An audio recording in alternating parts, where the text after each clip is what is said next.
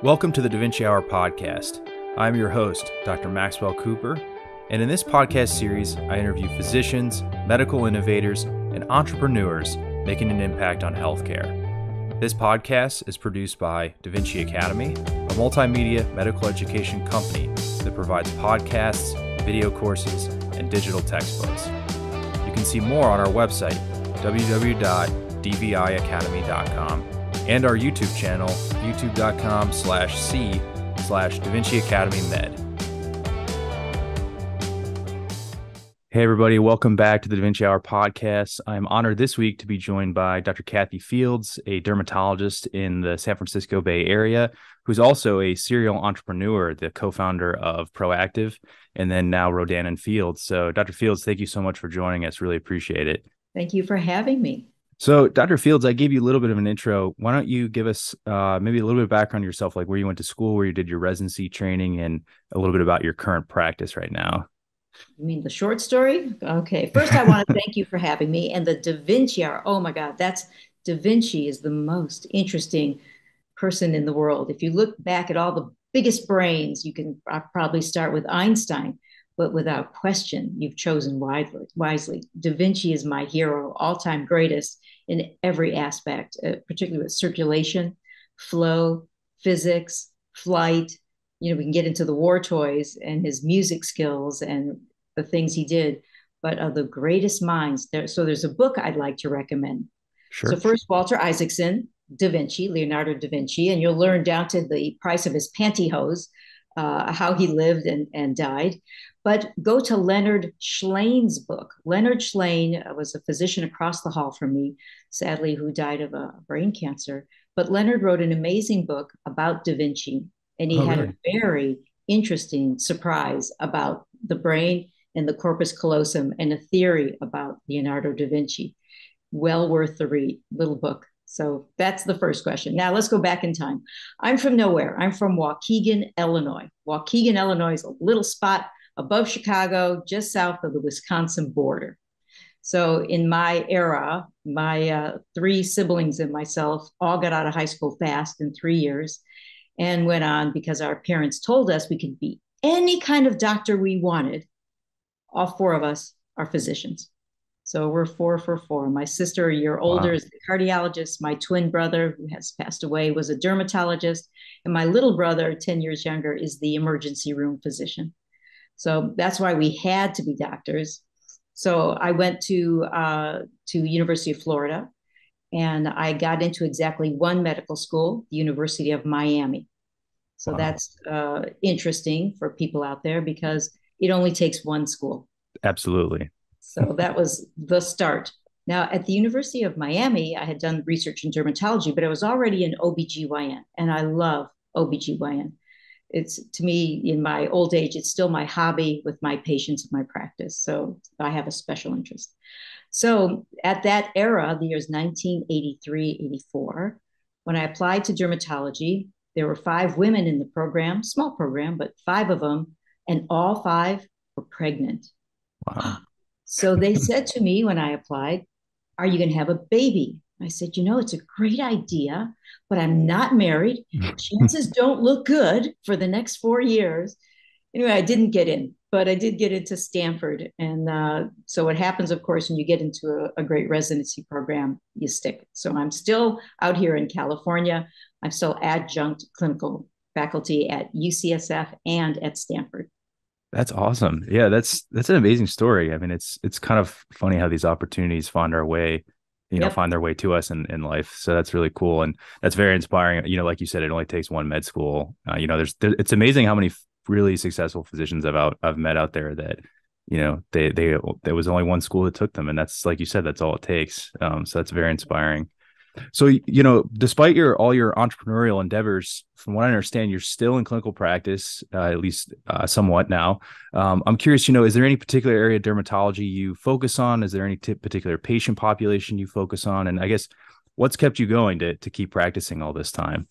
Uh, curiosity. So that's number one. Also a, a Leonardo trait. uh, so first of all, the, the first question Katie and I got. So Katie Rodan is my co-founder uh, with Proactiv Solutions. So that's a story I can tell. But going way back when that first really was successful, the first question we get is, why are you still practicing? And, and of course, everybody knows a dermatologist doesn't sit on a beach, right? Right. So we kept going. Uh, we had invented way back then, the years 1995 when Proactiv launched. So I graduated med school in 83, internship residency 87. Um, so when we launched, uh, we had figured out a paradigm shift in the treatment of acne. Before Katie and I, for the masses, you would spot treat after the fact. That's reactive. Or my husband, the dentist, would say, Why brush your teeth after the cavity? That's ridiculous. You want to prevent the problem. So we took that to heart, really, and we used three medicines, low strength, full face every day. So instead of 10% benzoyl peroxide that burns the skin, we brought it down to 2.5. In fact, we had read studies where even 1% is effective. The trick, though, is to use it every day and prevent the process in the skin. So we took that successful paradigm and we brought it into several new uh, products uh, for brown spots, for rosacea, for aging, for sensitive skin, and we made different regimens. And as it turned out, the first company wasn't interested. How interesting, huh? Gave them literally a billion dollar brand. And they go, no, no, you do acne. We said, no, no, we, we do hair, skin, and nails. We can do it all. So we began, um, you know, working on the next project, which uh, then went to Estee Lauder. So Estee Lauder bought our second product line, but they didn't know what to do with it. And so, for your entrepreneurs out there, when you can get a big success in one area, that formula doesn't always translate into all the different markets. So they we were in direct sales with Proactiv Solution from 1995 till 19 uh, excuse me to 2016. That's a great great run. And then wow. it was bought by Galderma. Um, but things change. There's always change. In the company we were with, Guthy-Renker, which is a turnkey. So, what does that mean? Katie and I licensed our concept Proactiv. Remember, you don't know anything about business, you're doctors. And man, those business people are very tough and they're very difficult. And we can go into that deeper about what they expect and need from us as entrepreneurs. But a turnkey where they do it all was a perfect start for us as we were getting into the business world. And they did a brilliant job. Guthy-Renker was outstanding in the way they marketed it. it if you remember, guys are pretty young, um, we had every movie star from Justin Bieber, um, Jessica Simpson, Alicia Keys, Adam Levine, I mean, Diddy, and I won't tell you all the stories behind the scenes there, but I will tell you it was an interesting time. But we never gave up our integrity. We never gave up our high value. We didn't let them corrupt our products and try to put coconut oil in because it was uh, trending. So you've got to hang on to your values, vision, and integrity as the founder because people who are helping you in the business do not know what you know, and they can take a great idea and kill it uh, because they're following money. Generally, us medical people, we're following health. We want real results all the time, and I want you to maintain that bar as you think of ideas that you're interested in doing. Sure, sure. Yeah, and thanks for giving us that that overview of Proactiv. I mean, that's I, I've used I used Proactiv products when I was younger, as I'm sure many of my listeners have as well. Um, so you guys really, you know, transformed skincare in that in that regard, uh, which is just amazing. I'm curious, you know, those early years, you know, you you were looking. It sounds like you were looking for, you know, a better product for. You weren't happy with what was out there for, you know, right. specifically acne. So that was essentially the clinical need. It sounds like. I guess so. Wh- how did you get those first few steps? I mean, you you and your your partner, Dr. Rodan, are you know practicing dermatologists. You've recently completed residency. Like you said, no business training. I mean, how did you even start doing this? It's it's just amazing. Well, there's something called a library. Remember those? Um, we had one. we had a medical library. And first, the problem. The problem it has to be identified. You have to have a real need. If you have something completely obscure where the patient themselves or the person doesn't know to self identify, you've got a big problem because it's going nowhere. A good example there's a, a new breakthrough medication pharmaceutical, that means a script for um, nodularis, Picker's nodules. Oh, I know what that is. But I can tell you, the masses have no clue what that is. And to them, it looks like a tumor. It's a firm brownish pink bump on a leg, on an arm. And so they can't self diagnose and, and treat. It's not going to happen. Where acne, it's a four letter word, it's spelled U G L Y. Everybody knows if you have it. And the need to remove it is fierce. Sure. And so as a result, pick a problem that's big, not obscure. When you go after it, find the blue ocean. So Katie and I realized in our era, healthcare changed from going to any doctor you wanted. They paid the visit and the meds. Oh, think of it. And it became HMO. Overnight, our practice was lost. Why? If I was the internist and I had five get out of you know jail passes, I would give it to my heart patients or cancer, but I'm not sending anybody for acne. So what happened is people are starting to scar. Their only opportunity was in the grocery store. And they didn't know what to do. That's called the paradox of choice. You walk into Walgreens and there's a wall of products mm-hmm. and you're stuck. You just can't move forward. I know what's in them. And I look at the ingredient decks and go, wow, this is confusing. So we identified a huge need. By the way, they we were after adult women with acne because insurance would not cover you over 18. So there's a, a lie and a myth that you grow out of it. Not true. They said 3% of adult women have acne. We decided all of them live in San Francisco or they are missing a large market. We, of course, were correct. The number can be up to 50% of us over the age of 20 have acne. I'm 64. I still break out. So it's common. Number two, uh, we start, we did our research, we identified the problem, we figured out our formula for success, which is all the topical ingredients, but used at better um, strengths that they could tolerate. And we did a really big difference. We put it in the Clinique paradigm. Clinique, if you go back into the 80s, had a one, two, three step. And they had number one, two, three. So you know what to do cleanse, tone, lotion, sunscreen. So we created, because the OTC monograph, over the counter monograph, does not allow mixing of benzoyl peroxide with sulfur with sal acid. We leaded each of our formulas. We made them feel good and smell good. That's called compliance. Now, this was Katie and I's secret sauce. We, we thought we were going to have an esthetician create the formulas. It actually took us four years to find a, a, a great lab in New York, um, real geniuses uh, to create the formulas we wanted, but we knew exactly how it should feel and smell on the skin, that it could work with makeup uh, or with men, and everyone would be able to use it without burning. So we had a high bar, and we finally got formulas made, and we did clinical studies out of our offices. But Katie and I are unique in this way, and this is where the I want to talk to your doctors on the line. We know the pathophysiology of the disease we're looking at. We know the patient suffering Big business didn't know that acne is a lousy disease. They thought it was unimportant. They literally, when we went to Neutrogena, they said, Who cares about acne?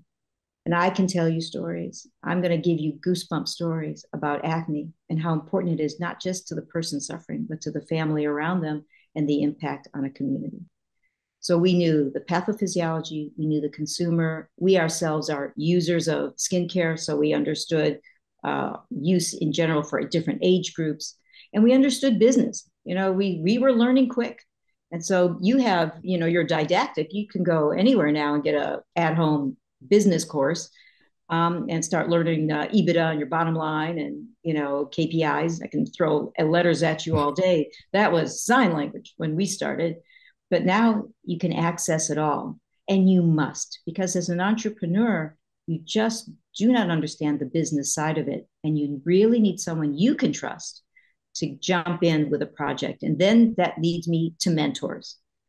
Mentors, people who have been through it, are important to have at your fingertips early and often because you may think you have a really cool, great idea, and they will help you test that concept. They will help you understand where the competition is. That's called the red ocean. Who else is doing what you're doing? And I do not want to hear another Me Too product. I am a mentor for lots of different ideas and startups and people. And you can't be another Dr. Pimple Popper. There is one. Do something different. So that's like immediately somebody would say to me, Well, I could do that. Well, you're too late. Mm-hmm. Be the first, be in the forefront, or you're just an ankle biter, just trying to get some scraps that whatever the, the lead in that position has. Sure, sure. So I'm curious, you know, did you guys have to put this through a clinical trial? What, what was the like the regulatory and the approval process like? How, how did that go? No regulatory. When you're dealing with over the counter, you have to be formulary. You can't mm-hmm. put retin-A with uh, or a tretinoin in with benzoyl peroxide. That is not a legal combination. So you you need to know your science and what's allowed under the monograph, the OTC monograph. So if you work within the monograph, we could put a label and sell it tomorrow or in today's world online right now. Oh wow. but what we did, we did a clinical trial for ourselves just to prove proof of concept. We wanted to be sure that we weren't overdoing it, that there was compliance. In fact, the biggest thing we found, this was crazy. We did a focus group behind the glass where we were eating the M&Ms and you have like 20 women playing with the product and we invited them because they had five pimples a month. They had acne. They were told it's an acne study. When they were in the in the behind the glass, they all decided they don't have acne. All of them. Oh, we don't have acne. I have blemishes. I have period breakouts. I they had a different language for what we were trying to treat. And they we went fragrance free because we want to be dermatologists. They hated that. They needed a non-sensitizing masking fragrance. But once you study the group and get into their mindset, you learn a tremendous amount. So, yes, we did clinical study for ourselves. Yes, we did focus group testing. Yes, we did it in the end, our own marketing, business plan, packaging. The packaging was the most exciting. That was the most expensive. This is the real, believe it or not. In the year 19, let's say 90 to 95 when it launched, and we graduated in 87. So we were working on this right away. Um, it only took us $30,000 wow. to, to bring it forward. So what does that mean? Be careful with your dollars and cents. Don't give it away so fast. You know, people run off and get you know, seed money. And you know what you do? You give away your company. Katie and I never gave away our company, not with Rodan and Fields, not with Proactiv Solution. And we had a little interim with Estee Lauder, but we bought it back. But by having control, you get to do what you need to do. So that's when you call your mom, guys, you know, I need I need something. Help me out here. I have a big idea. But don't go looking for investor money early. It's a very big mistake. And, you know, a lot of people lose it all. By the time they really have something really terrific, they're diluted now to very small numbers, which is unfortunate. Yeah, I think that's a great point you make because you hear about these, you know, physician inventors or physician entrepreneurs that by the time it's all because some of these things can take years to yes, get off the do. ground, but by the end they they made very little or no money for all that. And sure, they have helped clinical care, but it's just a shame that you you know why should someone else get rich off your own idea? That's i think that's an excellent point you make there. I guess the other thing you know that goes into all of this is marketing and getting you know the adoption. Like you said this was a new product. You guys were one of the first you know or the first there. And so how did you convince you know essentially the field of dermatology and even just consumers in general to to use your product? Great question because times have changed. So let's go back, guys. Go back 1990, one, two, three, four. Doctors never were on TV, ever. Doctors don't do that. There was a whole different code in the world of medical and integrity. But Katie and I were not interested in, in giving our products prescription. That made no sense. You get to me eventually. We wanted to treat a problem, uh, help people treat a problem for themselves. Okay, how do you reach them? we went to Neutrogena. We had named it Proactiv Solution, we had beautiful label, we had stabilized formulas. Uh, all of the, the formulations were proven and you know they were perfect. We were ready to sell the concept. In this case, we want to license our idea to Neutrogena because they do marketing. They have shelf space. This is before the internet, guys. So what happened was uh, they said, you'll never walk the halls of dermatology again they put their arm. Cotsen was the was the president of Neutrogena, who had gray hair and gray eyes, and he said, "You're going to dance with the devil if you do this deal because dermatologists will be jealous." He was right. He was right. So what happened is Neutrogena held us up for a year. They wanted it, didn't want it, and they they turned us down. But they gave us an idea. They said, "Do an infomercial." Be on TV with a 30 minute opportunity in those days to explain a difficult problem with before and after. Acne, before and after. My God, you can't get better than that.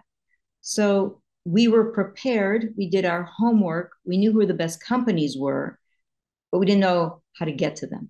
And then through serendipity, Katie's mom's best friend's aunt is the aunt of Guthy Renker. It was one of these those things. They gave us the chance to interview for infomercial, but we went in prepared, and we knew because of our problem solution that infomercial was great. It was the right way to market in this in that era um, in that world. It was so different. So it worked out. We did it. They do uh, today's celebrity uh, influencer is was yesterday's celebrity superstar. And in fact, anybody who touched Proactiv shot right to the roof. We had Justin Bieber before he made it. We had Jessica Simpson just as she was coming on the scene. We had um, old older women, Vanessa Williams, who was kind of out of the limelight. She was wonderful. She worked with us for five years. She was extraordinary, and her star popped, and she became a superstar again. So there was this myth, legend that anybody who touched Proactiv became highly successful. And the reason is integrity. Thanks to Guthy Renker, they delivered our infomercials with integrity. Yeah, there's sales going on, and we doctors hate sales, and Katie and I don't sell. We share information and we help people live well. And so we made that clear in the marketing. We don't do that. We don't sell. So, so for us, that was the era. Now, in now let's go forward. We did our next bunch of products. Guthy Renker didn't want to do it. Who knew? So Estee Lauder bought us in a second for not much. And then the plan was at full retail, you know, we'll get, you know, part of the, the revenues. Well, guess what? That was about 204 to 207, even before the Great Recession of 08. You could go bowling in department stores. Nobody was there. Nobody was shopping. And Katie and I figured that out real fast and realized we made a mistake. We ended up buying our product our products back. So that was a huge event. To nobody had done that to Estee Lauder, but we knew re, this was going to be a teeny brand, ten million dollars. Which, when you do your numbers, there's nothing there. That's just overhead. So we got it back, and we had the courage. And this is what entrepreneurs do: we have courage to try something important. Now let's go back to the reality. Katie and I still were practicing for fun Katie and I were still doing fine with Proactiv, but we wanted this time to help people, in particular women, as that recession was rolling in, be able to have an income, to be able to uh, get personal growth, job growth, skills, etc., and to have great skin. Because when this is working, this is everything. This is your calling card to the world. So when this is going well, you can have confidence to get a job, to get a date, to go through school, so Katie and I were compelled to do our own company. But this time I can't point a finger to a, you know, Neutrogena and say you screwed up. It was all on us. It was all on us. And so we created a team, CEO, C-suite, all of those things that you will learn all about, um, and managers and R&D team. Created a company. This time it was all on us, and this time it worked even better than Proactiv Solution it's extraordinary when you let the people who love and use the product actually sell it. So they have we have several hundred thousand brand ambassadors, consultants that sell Rodan and Fields products. And they sell it with their calling card. Great skin. That's amazing. In a way, you were kind of ahead of your time a little bit with the, you know, the influencer marketing is, I'm sure you're aware, is is so huge now. um, you know, that's that's kind of the, you know, having you know everyday brand ambassadors versus just celebrities is is kind of the, the new wave right now. Um, i'm curious you know what what was like maybe the biggest thing you learned from Proactiv that then you turned around and applied to your your time with uh, rodan and fields? Um, i think really there's so many learnings because uh, we learned what they did well and we learned what we didn't like. And that's important because um, for us again as physicians it's about brand integrity and always doing the right thing, the right thing for the customer. Uh, here's a good story. Here's a good story. We were walking down in a big exhibition. It was the Academy of Dermatology meeting. And if you guys have what we have, we have vendors, rows and rows, selling us lasers and uh, products and this and that, you know, gear. Okay. We were walking with the chairman, the head of dermatology at Stanford, and we're walking along and we're not looking in the big front booths. We're looking on the side booths for interesting ingredients. And we were looking to find things that really work, something really unique, something special in a delivery, in a vehicle, something. And while walking with him, he goes, You know, I, I've been in this business, I've been a, you know, chair for uh, decades. I have never walked the floor with an inventor who actually wants real results. When I walk the floor with industry, they want 10% better. They want sperry dust. You know, ooh, that's the ingredient du jour, name it, bakuchiol oil. Who cares? In other words, they're not looking for the ultimate answer. Business is only looking for money. Us. Hold that high, guys. We are the ones looking for results. And Katie and I have repeatedly, starting with Proactiv, pulled new products that are not good enough. If they don't perform, we will pull it. And we don't do it often, but that's how important it is. We just did it three months ago, actually.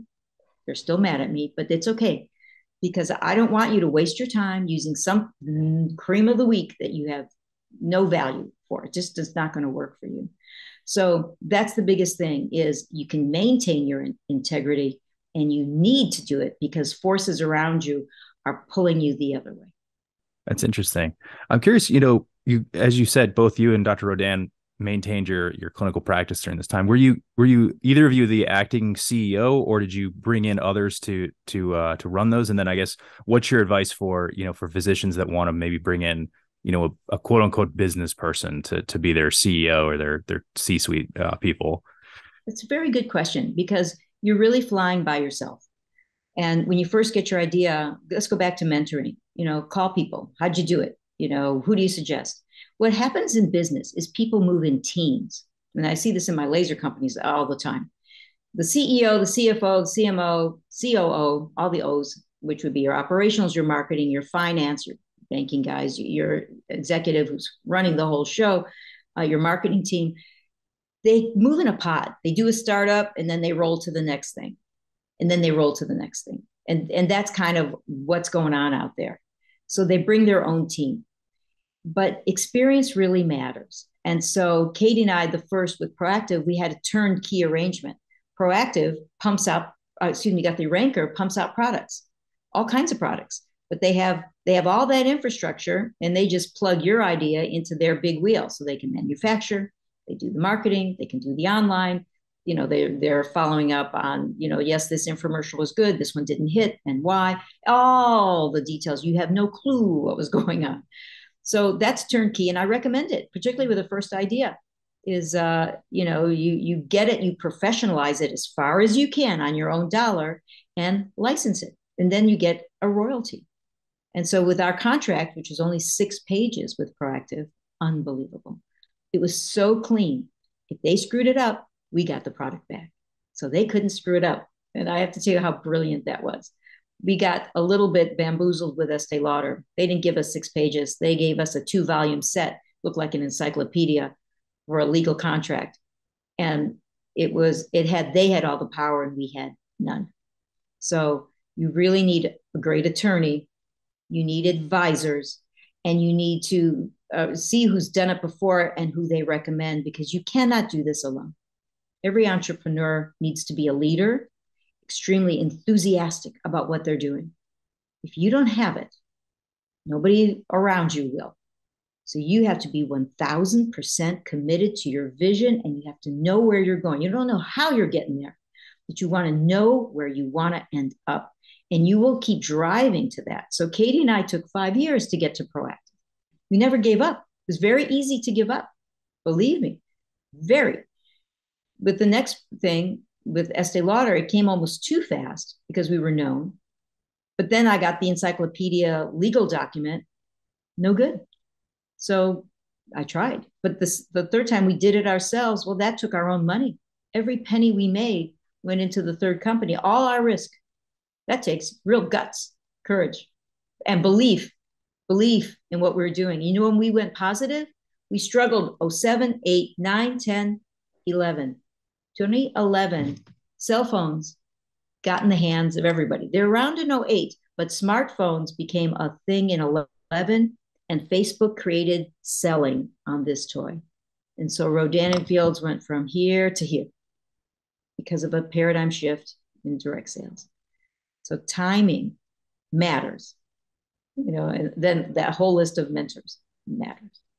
Absolutely, absolutely. So just just so I I have the details right. So you guys have and have uh, exited on Proactiv and then Rodan and Fields, you you sold it initially to Estee Lauder, and then bought it back, and now are still running it uh, with your team as well.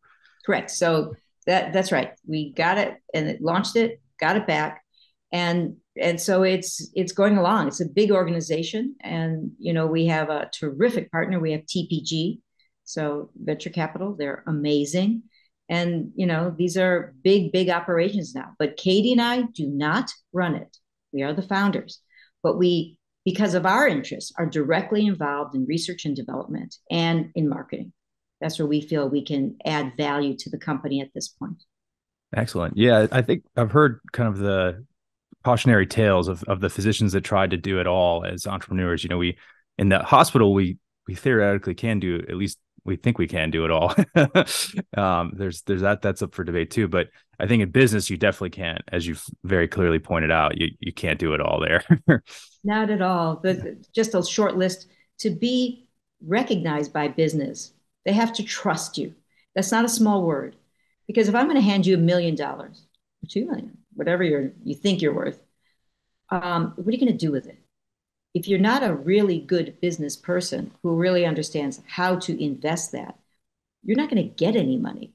So you number one, you have to be trustworthy. Number two, you have to have your vision well, well defined so anybody can understand it and get on board with it. You need to really, so you need the courage to go forward. You know, for us to go on television, that was terrible. That was shocking. And then for doctors to go direct to consumer after, it hasn't been done. That we were a first. So that's gutsy.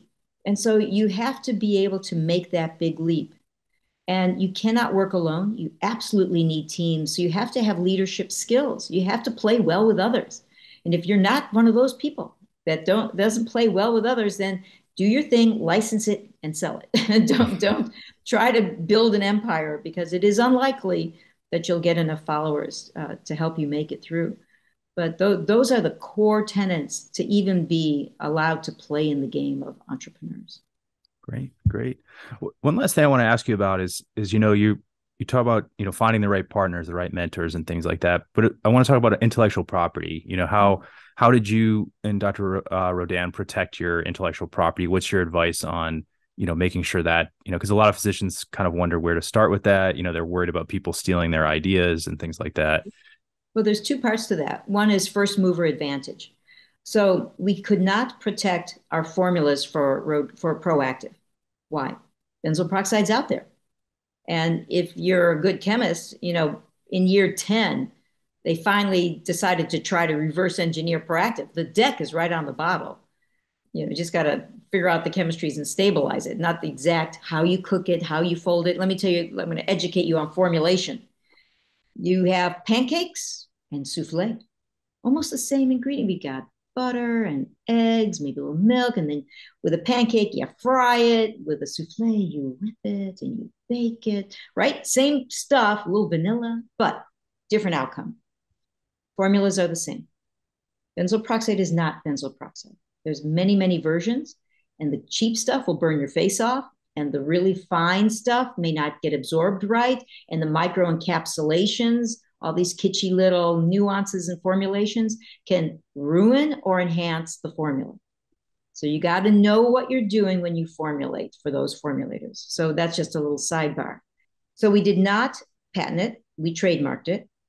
And because we were so stealth the first decade, nobody paid attention until it wasn't even a decade. We in 2003 we got a massive award for the Cosmetic Executive Women or C, their title was, but anyway, those people, Revlon, Neutrogena, L'Oreal, all the big game, and they identified Rodan and Fields for upending uh, a whole market that no one had seen before. But by then it was too late. We had become the Kleenex of acne care. We were the name. You know, better than Proactiv was the best people could do. But why would you take second best when you could have the real thing? And the price point was fair and reasonable, 1999, literally a month. So we did, we only trademarked. We had first mover advantage. We moved with speed. We had a turnkey company, spectacular execution. Next company, we went into retail. The opposite, red ocean. Everybody was screaming the same thing. The consumer had no idea what worked and what didn't. There wasn't a 30 minute explanation. There wasn't an explanation of ingredient deck. We were just one of another bunch of products in a wall. Garbage, terrible, the worst. No commercial to help me out, no celebrity to stop the channel. So that's why direct to consumer brand ambassador for us worked. So did we patent? We have made many patents along the course of our of Rodan and Fields. And the things that require patenting, we do. And you need to do that, but you still have a short time window. The patent is helpful. IP will help you sell your concept to a big pharma if that's the plan, but somebody will reverse engineer you quickly. So the patent has to be really airtight that takes time to create and then to file. And then is it worldwide rights or just the United States? Depends where you want to sell it. But I promise you, once anyone gets wind that you're doing something very special, they will reverse engineer you. So you have to be fast. And so sometimes in, in an effort for speed, it's better to give that to a, a big pharma that knows what they're doing and move quick rather than try to create that momentum, which is glacial on your own. Because you're right, it's hard to get it in the hands of patients without other sources to get you momentum. Sure, sure. Yeah, and I guess the the other last thing here is, you know, you've done this uh, rare combination of pr- clinical practice and then not just starting one company, but multiple very very successful companies, multi billion dollar companies. And I guess what where where did you learn all this business acumen? Is it or what's your advice for that? Like how to pick that up along the way? I mean, obviously you know some of it's kind of knowing what you don't know and what, knowing what you do know but i feel like to to play with the business people you you have to have some type of base knowledge at least you know that that's almost the easiest question of all because there's so much access in this era to everything you can go right now to any university and take their business courses and you don't need all of them you don't definitely don't need you know a fancy harvard mba you need basic language, uh, you know, to understand this new language. It's completely different than what we do. And it's so really any course right now online, and that's enough. Uh, Katie and I absolutely learned on the job. We never went to business school at all, but um, but I I've learned a tremendous amount, and because of problems. When you hit you know a legal issue, you start learning. When you hit a problem with a formulation, you start learning. When you hit a problem with IP, and then hiring and firing and and you know there's been when you become bigger you become a target and it, that's sort of the scary part that no one talks about you know if, if you're elon musk he everybody's paying attention and anything he does will have consequences so if you're the bigger players out in the world um, people want to piece you in a bad way. And so that's another thing we had to learn you know is is professionalizing and making sure that everything we do is transparent and, and above board and you know all the the our the way our business is run how many females are on our board uh, the diversity. These are all areas that you know you wouldn't be paying attention to. You're trying to put your head down and make a business but all of that also comes into play and that comes in with your team when you have people you're working with small who've done several things. So there are people who just do startups. They like doing 10 things and they're pretty good at it. And as you get better, you need to quickly professionalize and get someone who's really the expert in marketing. You can't have your guy doing marketing and operations and field training, etc. So, but you start you start small, um, and you keep talking. You keep talking to people who've done it in the area that you're in. Sure, sure. And I, th- I think you also make a, a good point that in some ways you just kind of got to go for it. A lot of this is learned, you know, because as a as a business or an entrepreneur, you're some of these things you're not you're never going to read it in a book you know or certain certain problems you're never going to foresee. And it's like you said it's encountering those problems and then learning how to deal with them. I think that's an excellent point. Go for it. Go for it. And you know how do you know when you have the right idea? When you can't sleep at night when you are up all night going wow you know i got to do this i got to do this now i got to do mm-hmm. this right now people need this you're on to something that's called your why so it's another book, The Book of Why by Sinek. Got his first name. But nevertheless, read the books because if you have your why in your head very clear, you will see this to completion. Life is going to happen. You know, marriage, kids, illness, overhead, all of those things are ongoing while you're doing your day doctor job. And in the meantime, you've got a great idea. So if you are not compelled to take every free moment to work on the project. Like all of those people who've approached me with really good ideas, they're gone. They just won't happen. So you have to give it the oxygen it needs. And I and I that's the test. If you're not up all night thinking about it, it's not there yet. Keep trying. But you have to be, here's the word, compelled. That's how you all got into med school. you were compelled to get A plus. Okay, Right. You take right. that same tenacity because that's what it's going to take. Nothing less. Excellent. Excellent. So my, my last question, I ask everybody this when you're not practicing dermatology or, or running multiple businesses, what what are you what are your passions in your in your spare time? How do you find that balance if there is one? Balance. Um, with joy.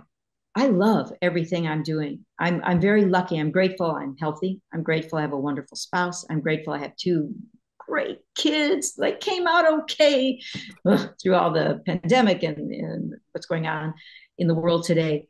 But my husband and I are a, a true team, a full partnership. And what we do in our free time, though we're still working, we have everything going on all the time, but we're digging deep in philanthropy, in projects that are important to us. Example, uh, we've been working with Tulane University on mental health, anxiety, depression, suicide. Um, this is a dirty little secret across every campus, every med school in America, say the world. And what we were finding at that university in particular, because our son went there, there were eight suicides on the year we started. Um, how could this happen? What is going on? The happiest school on earth, and nobody's really happy. And so, what we invested in is a design thinking program. We pulled that into actionable programming that you, the university can deploy and to change the community that we're all for each other now. We got to care for each other, have eyes on each other, and we can make a real difference in that kid in that dorm room who shut the door and then died. We're going to open that door because we have people on the ground now. Everybody's looking out for everybody. They're really doing what they should be doing. And what that does, it brings in conversation, community. Let's agree on what we can agree on instead of this divisive world that we're living in. So that's just one example of the many, many projects we're involved in. And we don't write checks, we get in and do the work.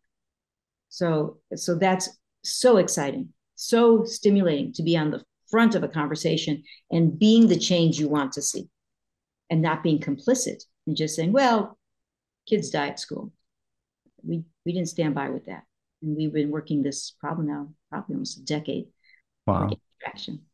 That's amazing. You know, no, I commend you for, you know, on top of everything else you're doing to to take on such a, a, a serious issue that, you know, affects so many different people and bringing it to light. I think that's amazing. You know, it, it's gratitude and compelling. And so we're up all night talking about, you know, huh, could we do that better? Who do we talk to, etc. And building coalitions, people around us, all with the same big goals. And that's how things happen. That's amazing. Amazing. Well, Dr. Fields, thank you so much for taking time on your very busy day and for all you've done for, you know, for medicine and and the, you know, community at large. Really appreciate it. Um, I guess the last thing is where where can people either find out more about you or find out more about, you know, what you're working on and and uh, get involved? Uh, you know, uh, that's a good question. I, I'm kind of all over the place. If you want to find me in my medical office, probably the, the easiest. And that's just here in San Francisco. I'm just writing the book. definitely find me. awesome. Awesome. Well, thank you again. We really appreciate it. All right. Well, thank you for your time. Thank you for listening to this episode of the Da Vinci Hour podcast. presented by Da Vinci Academy. Please be sure to subscribe to our YouTube channel and follow the podcast on your podcast platform of choice to catch the latest episodes. Please leave a comment or a review and share it with a friend. Lastly, you can find all of our podcasts, video courses, and books on our website, dviacademy.com. Thank you for listening.